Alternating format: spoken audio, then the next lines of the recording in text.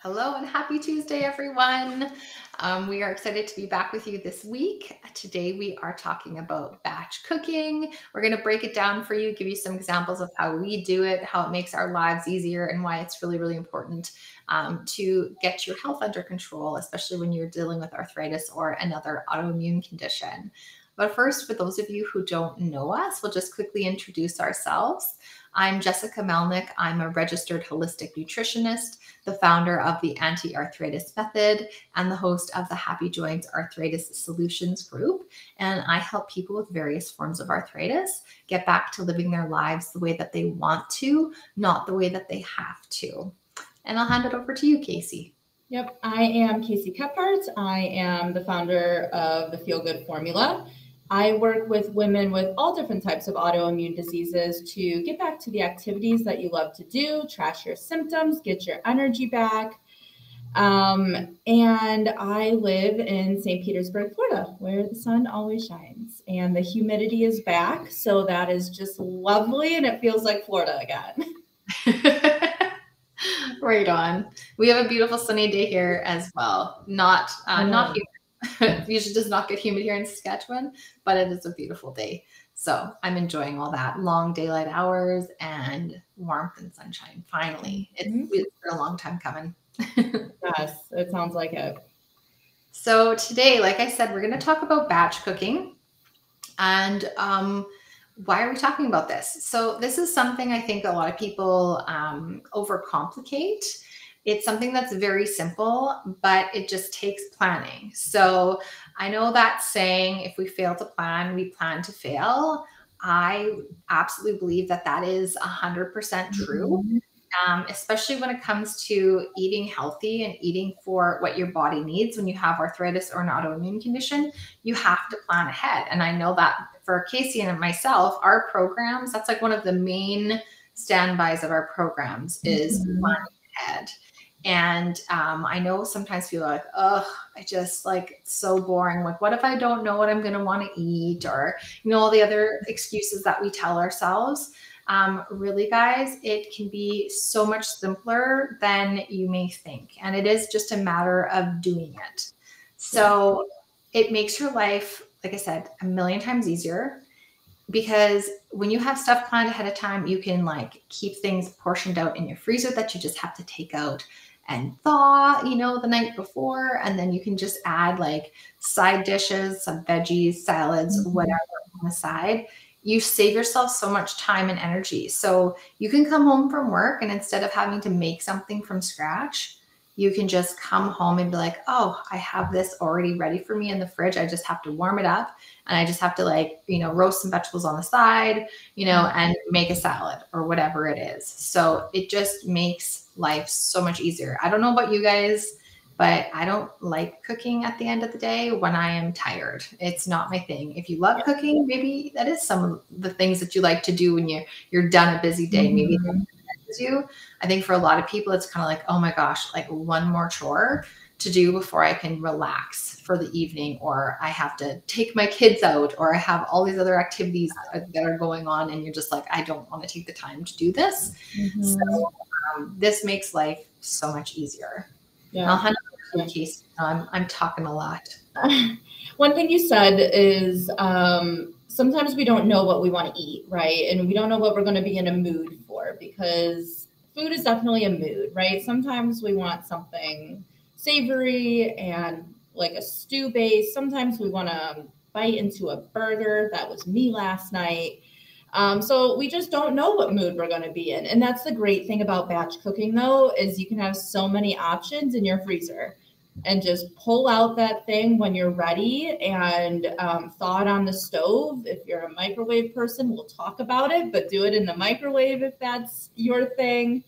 Um, so there's plenty of options, and we're going to go through how we do it just in our own lives, what our clients have been doing, and what works for them because um, there's so many different ways of doing batch cooking and it, you just need to find the one that works best for you so um, jessica i know you have like a really um, precise method that you use so why don't you start with that Yeah, and I don't even know even like how precise it is. It's just it's like I don't even really think about it anymore because I, I just like anything, I you know I make it part of my my weekly plan, mm-hmm. and I mm-hmm. just it a priority, and I make it something that it's just and it's a non-negotiable. So I plan usually before the weekend, so usually like by Friday.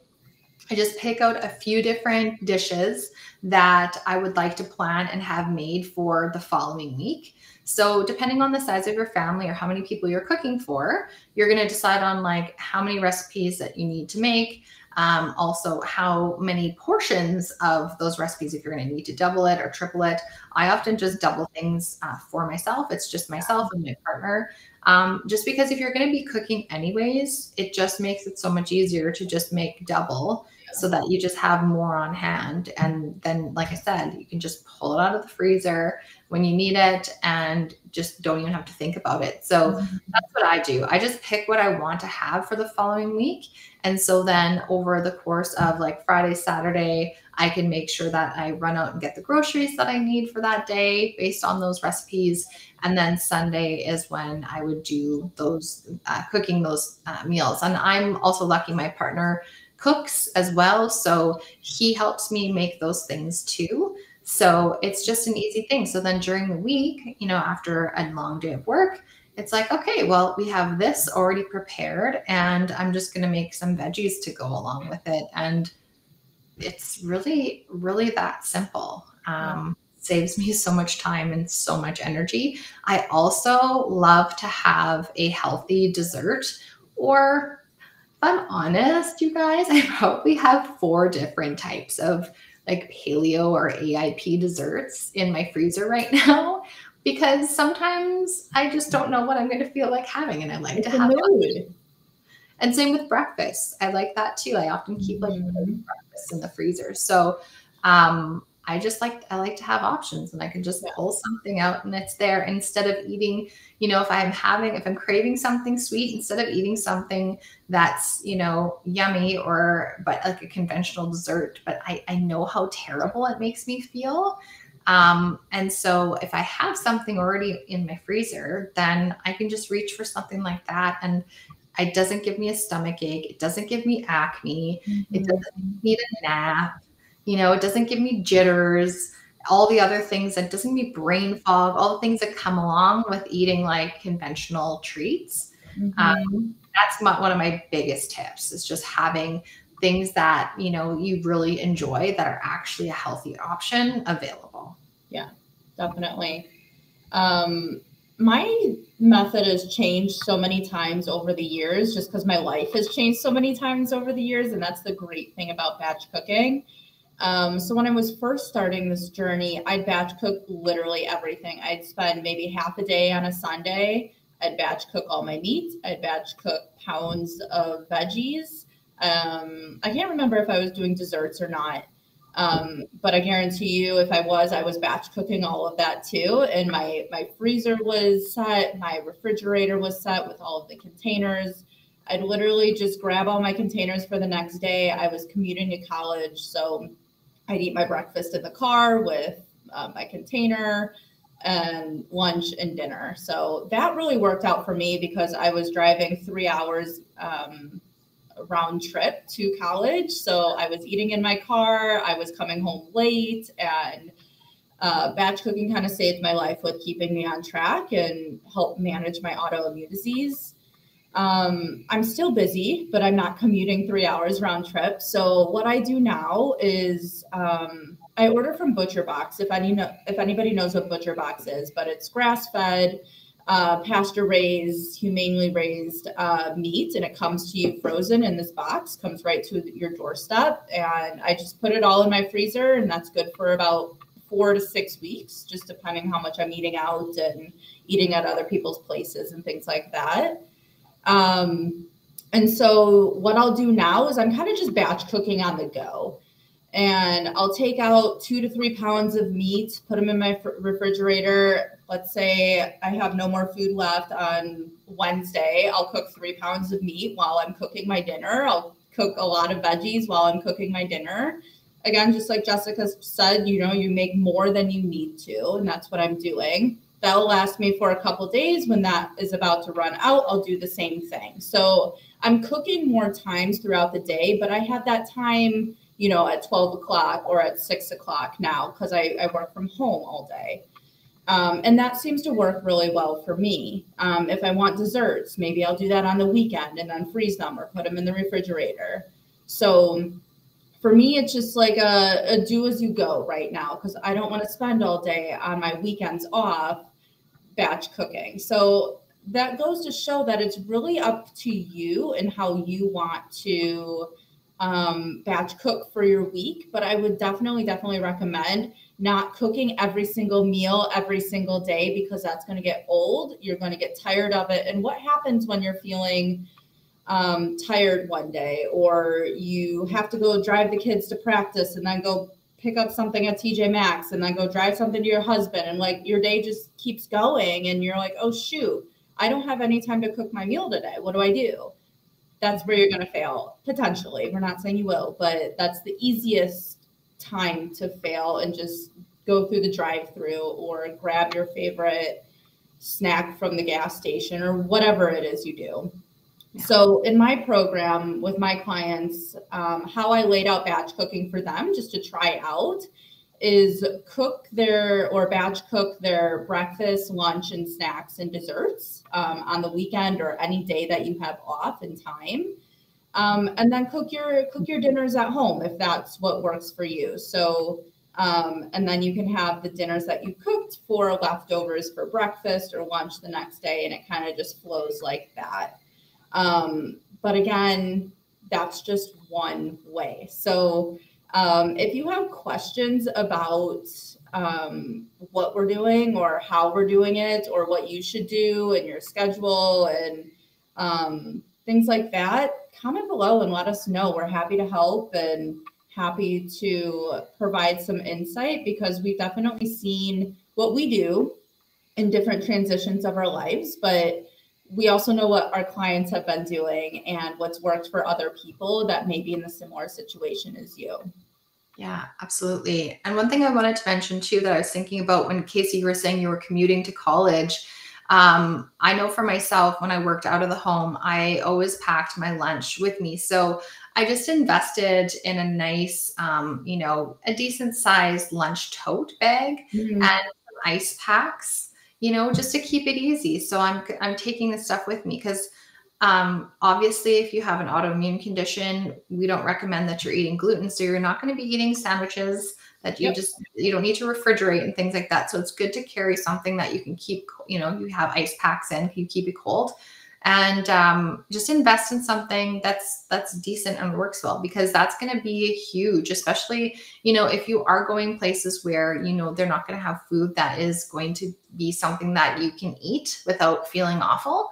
And um, so you really have to rely on yourself to have your meals prepared and to bring them with you. So it's nice to have things that you can tote your food mm-hmm. around in. And same thing to invest in a nice water bottle. Get, get a good stainless steel water bottle. Mm-hmm. Um, you know, sometimes an insulated one is nice because it keeps your water colder, especially if you live in like a warmer climate like Casey does. Um, here it's cold most of the time, so my water stays cold usually most of the year. But just invest in something nice that you can carry with you, and then it's also a good reminder um, when it comes to water just to, to drink that more often. But that's a whole other topic. I won't go into that today.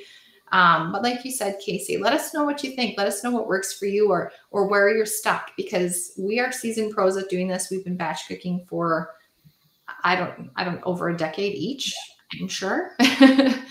and uh, we have lots of tips and tricks to make it as easy and seamless as possible. Yep, exactly. Good note on the tote and the water bottle and like easily packed because if you are feeling out of sorts while you're driving or while you're at your uh, place of work or business and you're and it's making you like dread eating or packing your lunch, that's going to affect your batch cooking and you staying on track. Um, so I, I love that idea, Jessica. Mine was just like thrown in my backpack, but that didn't bug me at the time. Um, also, remember silverware if you're driving and eating. I've done that multiple times and I'm just like picking it out of my container and eating it. Um, one thing that I thought of when you said that though is um, heating methods and storing methods. So, like heating, we talk about this not so often as I probably like, but Jessica and I often eat our things cold. I don't know if that makes us weird or not, but like literally we just grab it out of the refrigerator and we just eat it cold. It's easy for us. We like the taste. It's just, you know, we have work to do. Let's let's eat, nourish our bodies and move on with our day. However, um, you know, some people do really like a hot plate meal, which is fine um more times than not if you can heat it on the stove heat it in a stainless steel pan or a cast iron pan and um, take that time to heat it instead of the microwave which zaps nutrients out of it so there's a little nap by me sorry um and then the other thing would be uh, the types of containers you store these in. So back in the day when I didn't know any better, I was just storing these in like the cheapest plastic containers that I have. And you know you put it in there hot and then you store it in the fridge and that plastic kind of leaks out into your food. Um, so if you have the ability to or you have some at home already put them in glass containers. Put them in um, silicone bags or um, something other than plastic if you can just a little pro tip there mm-hmm. yeah absolutely um, no, I think those are really great tips. I don't think I have anything else to mm-hmm. add to that. Mm-hmm. Um, like I said, it's batch cooking is something that I think sometimes we overthink and overcomplicate, and it really doesn't have to be at all. So if you're having, if you're struggling and you're, you know, finding that you're like, ah, I've been wanting to do batch cooking for a long time, but I'm just reluctant to, let us know why, and we'd be happy to work, uh, give you some tips and help you work through that. Yeah, and we both go over this in more detail in our programs too. So don't think like we're just letting you hang hang dry. And if you if you sign up for our programs, we go over it in more detail and step by step what to do. Um, so we both have programs on this. We both um, definitely teach this and make it a part of your daily your weekly routine. Um, so if you want to know more about our programs and how we integrate this or anything about them, please let us know. I know I have a webinar. Jessica does webinars to teach as well. Um, so please let us know. Yeah, absolutely. Um, we'll be yeah. back Thursday.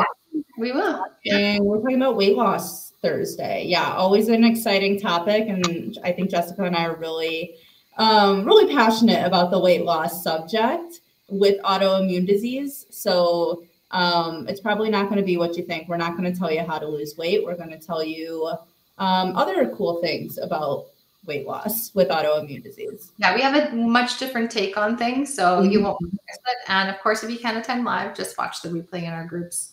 Yep. So right. have an awesome Tuesday and Wednesday. We'll see you guys back on Thursday. Bye.